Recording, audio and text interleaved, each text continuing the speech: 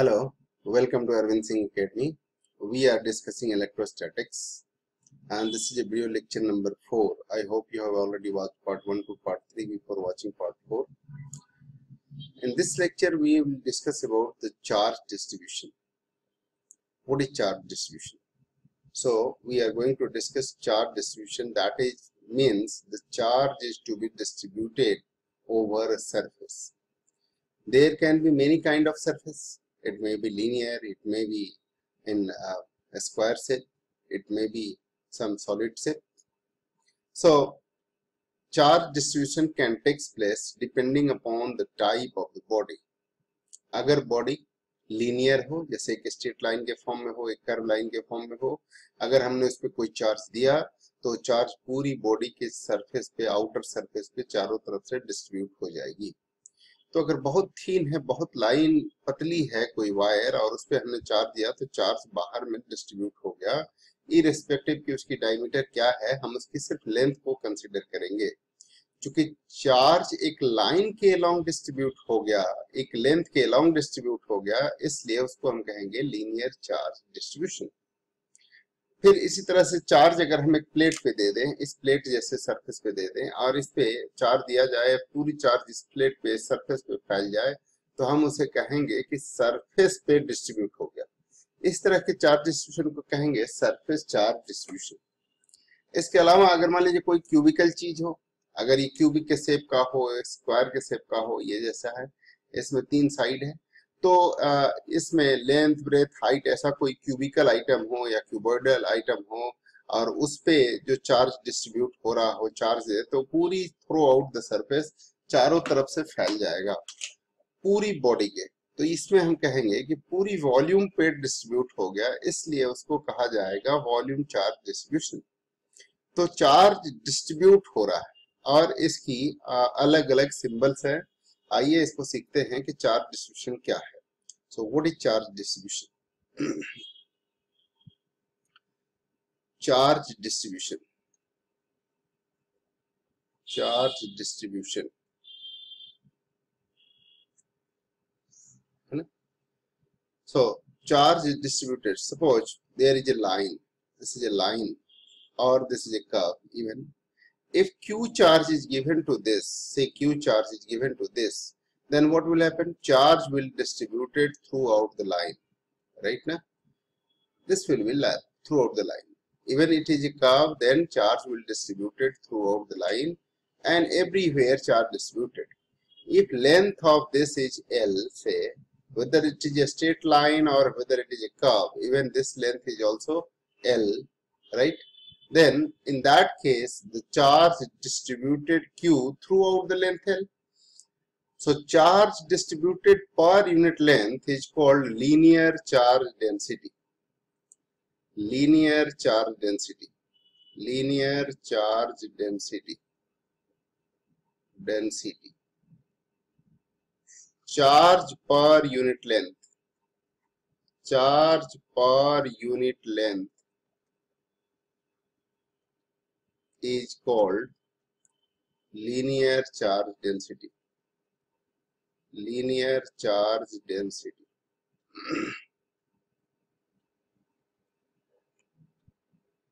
and is denoted by it is denoted by by lambda so therefore one can say lambda is equal to total charge total charge upon total length total length ठीक है अगर Q charge L length पर हो ठीक है total L length पर Q charge है L length पर Q चार्ज है तो यूनिट लेंथ में कितना चार्ज हो गया Q बाई एल और यूनिट लेंथ पे जितनी चार्ज होती है उसी को हम कहते हैं linear charge density so total charge that is Q and total length that is L so lambda is equal to Q by L होता है याद रखें lambda is equal to Q by L Q की unit क्या होती है coulomb और length क्या है metre S I unity of lambda is S I unit of linear charge density lambda is coulomb per metre coulomb per metre I hope आपको ये बात समझ में आ गई होगी अब हम बात करते हैं कि लिनियर चार्ज डेंसिटी के अलावा क्या हो सकता है दूसरा हो सकता है सरफेस चार्ज डेंसिटी दूसरा हो सकता है surface charge density that is surface charge density ये क्या हो सकता है ठीक है ये क्या हो सकता है सरफेस चार्ज डेंसिटी सपोज कीजिए कि आपको एक सीट दिया जाए एक ऐसा पेपर दिया जाए ये जैसा एक पेपर है कोई ले लेते हैं ठीक है और इस पेपर में ये एक पेपर दे दिया जाए और इस पर कोई चार्ज दे दिया जाए तो इस पूरे पेपर पे थ्रू आउट द पेपर ये चार्ज क्या हो जाएगा फैल जाएगा सीट हो कोई इनफाइनाइट सीट हो इनफाइनाइट सीट या बड़ी सीट हो सकती है infinite sheet infinitely thin sheet यानी इसमें कोई वॉल्यूम ना हो बहुत पतली सीट हो और इस सीट पे हम क्या करें चार्ज दे दें क्यों चार्ज दे दिया तो इस पूरे सरफेस पे जाकर के चार्ज डिस्ट्रीब्यूट हो जाएगा पूरा सरफेस कितना है तो पूरा सरफेस को हम मान लेंगे S S stand for surface तो अगर कोई ऐसी कोई सीट है मान लीजिए ऐसा कोई सीट है इस तरह का कोई भी शेप हो जरूरी नहीं है कि रेक्टेंगुलर हो जरूरी नहीं है कि ये स्क्वायर के शेप का हो वट एवर द शेप में भी ऐसा कोई शेप हो ठीक है और इस शेप का सरफेस एरिया एस मान लिया जाए इस पूरे सरफेस का किसी का भी शेप हो उसका सरफेस एरिया एस मान लें और क्यू इस पे चार्ज दे दे क्यू चार्ज दे दे तो क्यू चार्ज देने से क्या होगा ये charge throughout the surface distribute हो जाएगा है ना throughout the surface distribute हो जाएगा चूंकि चार्ज पूरे इस सरफेस पे डिस्ट्रीब्यूट हो गया कोई भी सेप हो कोई भी स्ट्रक्चर हो ऐसी कोई बात नहीं है बट एक सीट होनी चाहिए सिर्फ इसमें जिसमें सीट होने से क्या है कि उसमें सिर्फ एरिया कंसीडर कर सकते हैं नथिंग एल्स तो surface area if S be the surface area of the sheet surface area of the sheet sheet and Q be the charge given to the surface then charge will charge will be distributed distributed throughout the surface throughout the surface surface. So charge per unit area, therefore we can say charge per unit area is called, charge per unit area is called surface charge density. charge per unit area is called surface charge density. It is denoted by by sigma. Surface charge density it is denoted by sigma. इसका मतलब है कि Q charge charge represent कर रहा है throughout surface S पे S surface पे Q charge है ऐसा समझे कि टोटल सरफेस एस पे चार्ज कितना डिस्ट्रीब्यूट है क्यू तो यूनिट सरफेस पे कितना चार्ज डिस्ट्रीब्यूट होगा Q by S and charge per unit area unit area पे ये Q by S charge distribute होगा इसलिए sigma is equal to Q by S that is total charge upon total area upon total area ये है surface charge density surface charge density ठीक है total charge upon total area ये हो गया इसलिए इसका एस आई यूनिट होगा एस आई यूनिट इज क्या होगा coulomb per metre square coulomb per metre square now you may consider that another charge is given to a body solid body say like this कोई solid body इसका volume है solid body होगा तो इसका कुछ volume होगा volume है V ये कैसा भी हो सकता है किसी भी शेप का हो सकता है maybe rectangular cuboid maybe sphere maybe anything किसी भी प्रकार का सॉलिड हो सकता है इसका वॉल्यूम है वी अगर इसको क्यू चार्ज दिया जाए तो ये क्यू पूरे ही वॉल्यूम में डिस्ट्रीब्यूट हो जाएगा सो so, इसको कहते हैं volume charge density volume charge density ठीक है क्या है ये वॉल्यूम चार्ज डेंसिटी क्या है तो इसमें है कि charge per unit volume charge per unit volume is called volume charge density is called volume charge density charge density it is denoted by by rho r h o rho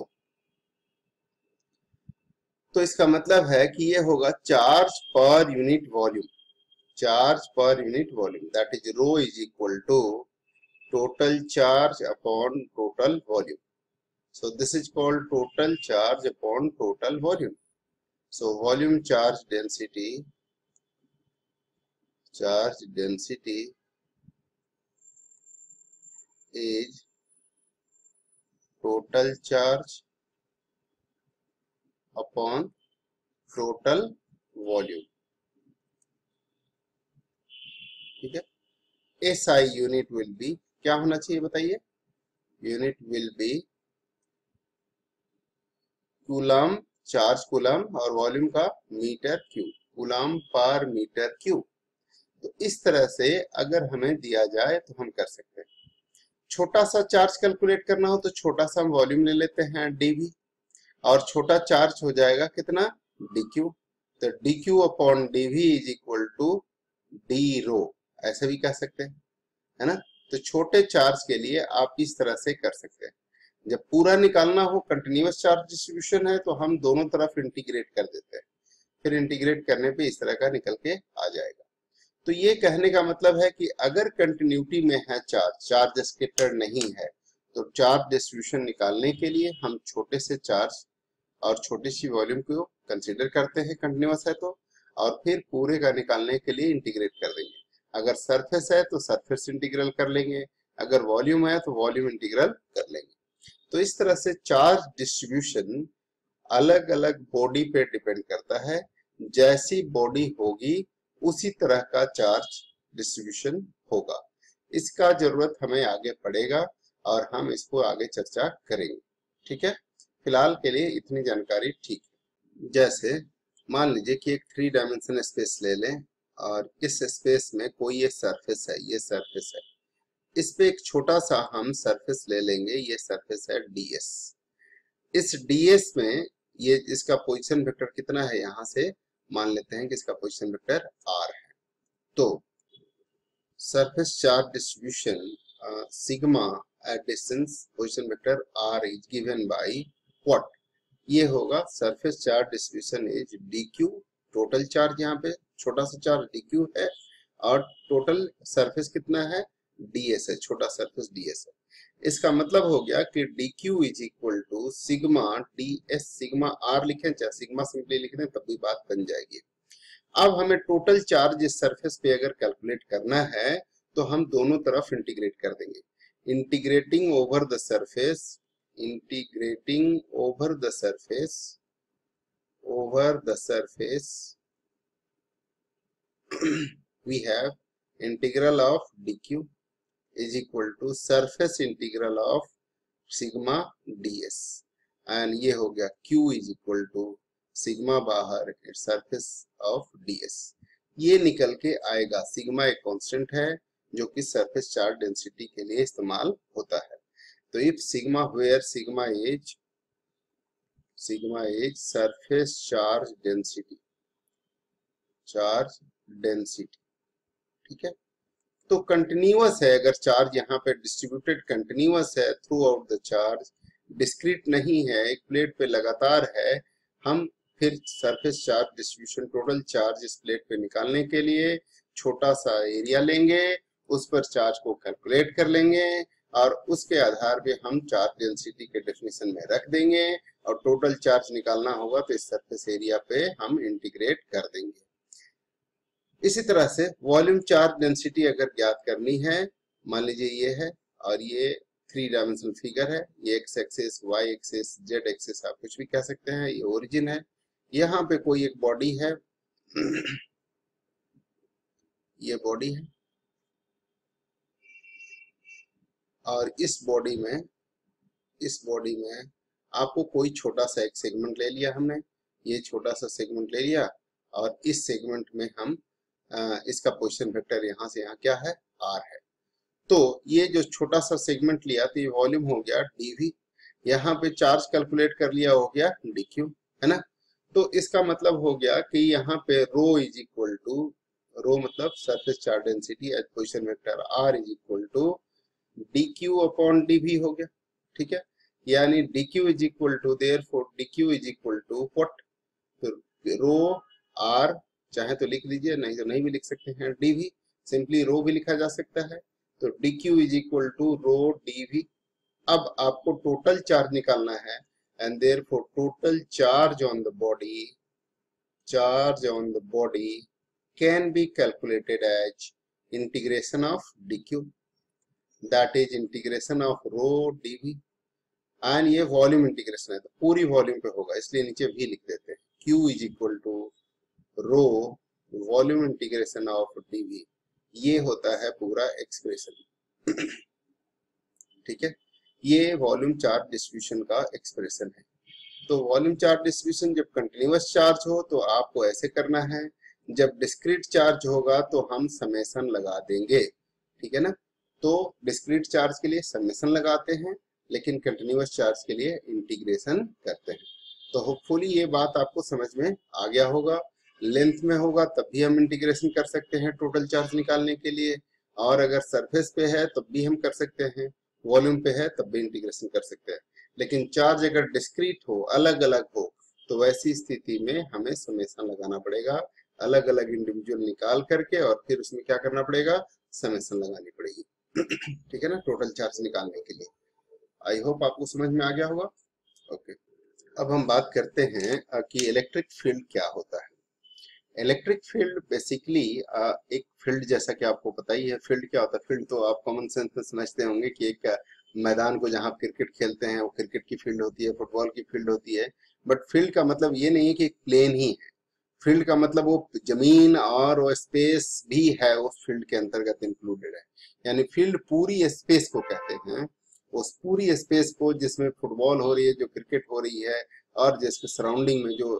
atmosphere uh, है वो पूरा का पूरा field के अंदर include होता है कहने का मतलब है यहाँ पे इलेक्ट्रिक फील्ड करना है इलेक्ट्रिक फील्ड का मतलब हुआ कि जहां पे इलेक्ट्रिक चार्जेज का असर हो इसका मतलब ये है कि असर कैसे पता चलेगा हमने कहा कि ऐसा अगर कोई चार्ज बॉडी रख दे और उसके आसपास इंसुलेटेड मटेरियल की कोई भी बॉडी आप लेके जाओगे तो उस चार्ज बॉडी को कोई फर्क नहीं पड़ेगा इंसुलेटेड मटेरियल को भी कोई फर्क नहीं पड़ेगा फर्क पड़ेगा क्या नहीं पड़ेगा कोई भी आप बिजली का बैटरी के पास आप कोई रबड़ के दस्ताने पहन के चले जाओ ना आपको कोई फर्क पड़ेगा ना उसको कोई फर्क पड़ेगा लेकिन अगर दूसरी चार्ज बॉडी लेके जाया जाए तो दोनों को फर्क पड़ेगा दोनों को फर्क पड़ेगा और दोनों के द्वारा क्या होगा अगर लाइक चार्जेज होंगे तो फोर्स ऑफ रिपल्सन एक्सपीरियंस होगा अनलाइक चार्जेज होंगे तो फोर्स ऑफ अट्रैक्शन होगी इसका मतलब है कि एक फोर्स एक्सपीरियंस करेगा अगर कोई चार्ज बॉडी किसी दूसरी चार्ज बॉडी के करीब लाया जाए मान लीजिए कि यहाँ पर कोई चार्ज बॉडी है और इस चार्ज बॉडी के साथ कोई दूसरी चार्ज बॉडी लाई गई और यहाँ तक फोर्स जो एक्सपीरियंस कर रहा है धीरे धीरे हम ले गए तो क्या हो जाएगा फोर्स कम होता गया क्यों क्योंकि electrostatic force of attraction distance बढ़ने के साथ साथ क्या होता जाता है कम होता जाता है तो जैसे जैसे हम दूर ले गए फोर्स कम होता गया होता गया होता गया होता गया एक पॉइंट ऐसा आया जहां पर अब फोर्स बिल्कुल ही महसूस नहीं हो रहा तो इसका मतलब है कि इस बाउंड्री तक इस बाउंड्री तक फोर्स एक्सपीरियंस हो रहा है इसके बाद कोई फोर्स एक्सपीरियंस नहीं हो रहा ऐसा ही पूरी स्पेस इस चार्ज बॉडी के अराउंड जहां तक फोर्स एक्सपीरियंस किया जा सके उसको हम कहेंगे क्या कि इलेक्ट्रिक फील्ड यानी इलेक्ट्रिक फील्ड स्पेस होती है किसी चार्ज बॉडी के सराउंडिंग में जहां तक दूसरी चार्ज बॉडी को लाने पर कोई ना कोई फोर्स एक्सपीरियंस हो ठीक है ना फोर्स एक्सपीरियंस का मतलब अब एक्सपीरियंस बड़ा ही इम्बिगोस वर्ड है कि कब कौन एक्सपीरियंस करेगा कितना करेगा कैसे करेगा तो किसी भी प्रकार का एक्सपीरियंस हो फोर्स वहां तक उससे कम होते होते होते निग्लिजिबल हो जाएगा वहां भी फोर्स होगा ऐसा नहीं है कि वहां फोर्स बिल्कुल ही नहीं होगा बट इतना नहीं होगा कि वो जो दूसरी चार्ज बॉडी है वो एक्सपीरियंस करे और उसके दबाव में उसके प्रेशर में उस फोर्स की वजह से अपने डिस्टेंस को लगातार चेंज करे तो इलेक्ट्रिक फील्ड होता क्या है कि जहां पर वो स्पेस किसी चार्ज बॉडी के सराउंडिंग में जहां पर फोर्स एक्सपीरियंस करे कोई दूसरी चार्ज बॉडी तो हम बात करते हैं इलेक्ट्रिक फील्ड की electric field. The space around a charged body, a space around a charged body, around a charged body,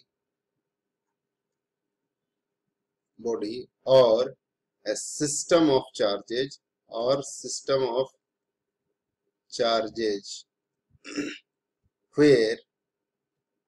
force can be experienced by any other electric charge body by any other charge material is called electric field electric जैसे हम कहें कि magnet case case में ही आप देखते हैं कि एक मैग्नेट के साथ दूसरा मैग्नेट अगर लाते हैं दोनों अपोजिट पोल का है या सेम पोल का है तो सेम पोल का है तो यहाँ तक लाते हैं तो क्या होता है रिपेल करता जाता है अपने से दूर भागता चला जाता है लेकिन इतने दूर अगर कर दे तो उसके बाद अपने से दूर भागता नहीं है इसका मतलब क्या है कि जो फोर्स एक्जर्ट कर रहा है वो इतना इनफ नहीं है कि उसको डिस्प्लेस कर सके उसी तरह से इलेक्ट्रिक फील्ड के मामले में भी अगर हम कोई चार्ज बॉडी लेते हैं दूसरी चार्ज बॉडी को उसके करीब ले आए तो फोर्स एक्सपीरियंस कर रहा है लेकिन जैसे जैसे उसकी दूरी बढ़ती गई फोर्स कम होता गया और फोर्स कम हो गया तो वहां पर जैसे ये कोई चार्ज बॉडी है मान लीजिए पॉइंट चार्ज है और ये पूरा का पूरा सरफेस है आर डिस्टेंस पे चारों तरफ जहां तक इसका फोर्स एक्सपीरियंस किया जा सकता है और इस बाउंड्री के बाहर इतना इनफ फोर्स नहीं है कि कोई चार्ज बॉडी लाया जाए तो उसको डिस्प्लेस कर सके या रिप्लेस कर सके या किसी भी तरह का परिवर्तन ला सके उसके सिचुएशन में तो हम कहेंगे कि ये स्पेस जो है वो कहलाएगा electric field so electric field होती है charge the space around a charge body where force electric can be experience by any other charge material और charge body that is called electric field I hope आपको ये बात समझ में आ गई होगी अब एक टर्म आता है electric field strength electric field strength क्या होता है इसको ई e से रिप्रेजेंट करते हैं ई e मतलब इलेक्ट्रिक फील्ड स्ट्रेंथ ये क्या होता है तो किसी भी चार्ज बॉडी ये कोई चार्ज बॉडी है यहां तक आप कोई एक यूनिट चार्ज ले आए टेस्ट चार्ज कह सकते हैं कोई भी टेस्ट चार्ज ले आए तो इन दोनों के बीच में इलेक्ट्रोस्टैटिक फोर्स ऑफ अट्रैक्शन लगेगा कुलम्स लॉ के हिसाब से इन दोनों के बीच में दोनों चार्ज बॉडी के बीच में जो फोर्स लगेगा वो लगेगा K Q Q not upon R square ये लगेगा फोर्स अब ये फोर्स जैसे जैसे आर बढ़ता जाएगा वैसे वैसे ही फोर्स छोटा होता जाएगा और हो सकता है कि यहाँ पर आकर के अगर क्यू नॉट को ले आए तो यहाँ पर लाने पर कोई फोर्स एक्सपीरियंस नहीं कर रहा है इतना नेग्लिजेबल है कि उसे हम महसूस नहीं कर सकते या ये चार्ज बॉडी महसूस नहीं कर सकता उसको नेग्लिजेबल मान सकते हैं तो हम कहेंगे कि इस स्पेस तक अराउंड पूरी के पूरी इस रेडियस तक के स्पेस में जो है वो इलेक्ट्रिक फील्ड एग्जिस्ट करेगा अब यहाँ पर इलेक्ट्रिक फील्ड निग्लिजिबल है मान लेते हैं कि यहाँ पे कोई फील्ड नहीं है यहाँ पे निग्लिजिबल है क्योंकि फोर्स निग्लिजिबल है यहाँ पर आने पे थोड़ा ज्यादा फोर्स लग रहा है यहाँ पे जैसे जैसे हम करीब आते जा रहे हैं फोर्स ज्यादा लगने जा रहा है फोर्स ज्यादा लगने जा रहा है जैसे ही करीब ला रहे हैं और ज्यादा तेजी से एक दूसरे को रिपल्सन कर रहा है अगर लाइक चार्जेज है तो तो इसका मतलब है कि यहाँ पे फील्ड की स्ट्रेंथ ज्यादा है यहाँ पे ज्यादा ताकत लगा रहा है और यहाँ पे जाने पे और ज्यादा ताकत लगा रहा है यहाँ पे जाने पे और ज्यादा ताकत लगा रहा है इसका मतलब है कि जैसे जैसे हम करीब जा रहे हैं वैसे वैसे इस फील्ड की स्ट्रेंथ बढ़ती जा रही है यहाँ पे चार्ज का जो इम्पैक्ट है वो बढ़ता जा रहा है और हम जैसे जैसे दूर जा रहे हैं वैसे वैसे फोर्स कम लगता जा रहा है यहां पर अगर चार्ज बॉडी को करे तो इतना ज्यादा फोर्स लगता है कि ये तेजी से एक दूसरे को रिपेल कर रहा है और अगर हम इसे बहुत दूर चले जाए तो बहुत निग्लिजिबल लग रहा है यानी फोर्स तो एक्सपीरियंस कर रहा है अब ये unit charge Q not charge पे कितना फोर्स लगेगा तो फोर्स जो लगता है वो क्यू नॉट चार्ज पे लगेगा कितना फोर्स एफ मान लेते हैं ठीक है कि F force experience by charge Q not Q not charge से एफ फोर्स लग रहा है तो यूनिट चार्ज से कितना लगेगा एफ अपॉन क्यू नॉट ठीक है तो फोर्स पर यूनिट चार्ज इसको कहेंगे क्या जो वन है force experience by experience by unit charge unit charge unit charge is called electric field strength is called electric field strength. Field strength. so electric field strength का definition होगा electric field strength. ठीक है ना यानी E is equal to आप कह सकते हैं कि E is equal to electric field strength is equal to F upon Q not E is equal to F upon Q not लेकिन ये Q नॉट अगर ये खुद ही बहुत बड़ा हो इस चार्ज से इस चार्ज से क्यू नॉट बड़ा हो तो क्या करेगा ये इसको धक्का दे रहा है कि यही इसको धक्का देना शुरू कर देगा और ये धक्का देगा इस पे ज्यादा एग्जर्ट करना शुरू कर देगा इसका मतलब है कि ये चार्ज बहुत छोटा होना चाहिए इतना छोटा होना चाहिए कि इसका अपना इलेक्ट्रिक फील्ड जनरेट ना हो और इसलिए हम कहते हैं कि ये चार्ज इतना छोटा होना चाहिए कि लगभग लगभग जीरो की ओर अप्रोच करना चाहिए इसलिए हम लिखते हैं electric field E is equal to F upon Q not where limit Q not tends to zero Q not zero की ओर अप्रोच करे तो ये है electric field force per unit charge अब डेफिनेशन क्या होगा in an electric field in an electric field electric field electric field strength electric field strength at a point in an electric field electric field strength at a point is the force experienced by by unit charge unit charge at that point. At that point. force experienced by unit charge at that point क्योंकि force vector quantity होती है इसलिए electric field strength भी vector quantity होती है electric field strength field strength E it is denoted by E is a vector quantity vector quantity यानी electric field इसका होगा ये चार्ज इतना छोटा होना चाहिए कि इसका इलेक्ट्रिक फील्ड जो है वो लगभग निग्लिजेबल हो एज कम्पेयर टू क्यू इसलिए इसको हम कहते हैं कि इसका मैग्नीट्यूड बहुत छोटा होना चाहिए ताकि इसका अपना इलेक्ट्रिक फील्ड सेटअप ना हो सके ठीक है ना इसका अपना ही इलेक्ट्रिक फील्ड सेटअप हो जाएगा तो फिर क्या होगा ये फोर्स जो है रिपल्सिव फोर्स लगेगा और दोनों का ये फोर्स इसकी वजह से सिर्फ लगने वाला फोर्स कैलकुलेट करना मुश्किल हो जाएगा इसलिए ये जो हम फोर्स कैलकुलेट कर रहे हैं ये इसके द्वारा इस चार्ज पर लगाया गया फोर्स है force experience by where F is therefore E is equal to electric field strength is equal to F upon Q not where limit Q not tends to zero where F is equal to F is the force experienced by by Q naught due to presence of to presence of due to presence of charge Q charge Q इसलिए Q का इसमें कोई चर्चा नहीं है तो electric field strength अगर निकालना हो हमें तो हम कोई भी क्यू चार्ज ले लेंगे उस पर फोर्स कैलकुलेट कर लेंगे और फोर्स कैलकुलेट करने के बाद हम क्यू नॉट से डिवाइड कर देंगे तो इसलिए F is equal to Q not E ये भी कह सकते हैं F is equal to Q not E force कितना होगा ये क्यू नॉट इधर आके मल्टीप्लाई हो जाएगा क्यू नॉट ई चार्ज जो है स्केलर क्वांटिटी है और ये स्केलर मल्टीपल ऑफ वेक्टर है इसलिए इस पर कोई फर्क नहीं पड़ेगा अगर इलेक्ट्रिक फील्ड स्ट्रेंथ निकालनी हो तो वी नो फिर से इसकी चर्चा करेंगे बट फिर भी एफ इज इक्वल टू क्या होगा तो K Q Q not upon R square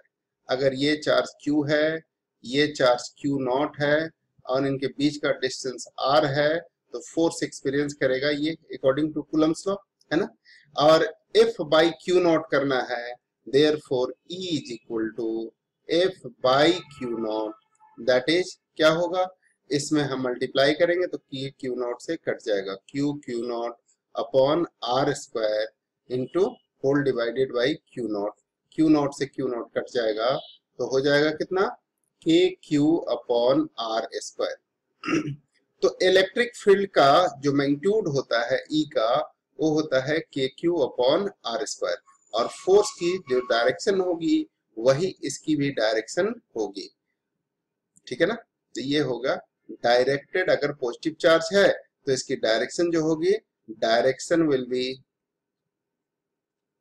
will be same along same along the direction of same along the direction of force the direction of force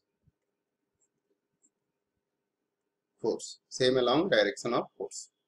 तो इस तरीके से हम इलेक्ट्रिक फील्ड स्ट्रेंथ को calculate कर सकते हैं इलेक्ट्रिक फील्ड लाइंस और इसके बारे में अगली किसी पॉइंट चार्ज की वजह से कैसे कैलकुलेट करेंगे किसी लीनियर चार्ज की वजह से कैसे कैलकुलेट करेंगे सिस्टम ऑफ चार्जेस की वजह से कैसे कैलकुलेट करेंगे ये हम अगले क्लास में सीखते हैं till then bye bye God bless